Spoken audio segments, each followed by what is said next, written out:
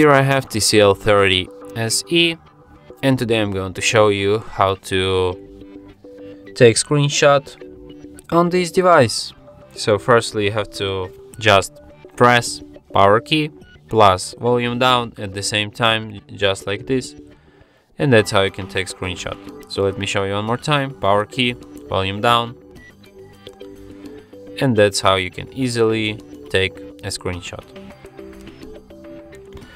Then you can find the screenshots in gallery, in the...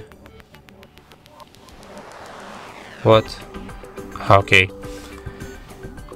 In the screenshots album. And here they are, our screenshots.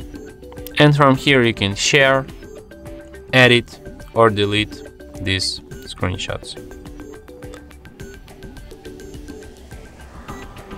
And that's it. Thanks for watching. If you find this tutorial useful, don't forget to hit that like button and subscribe to our channel.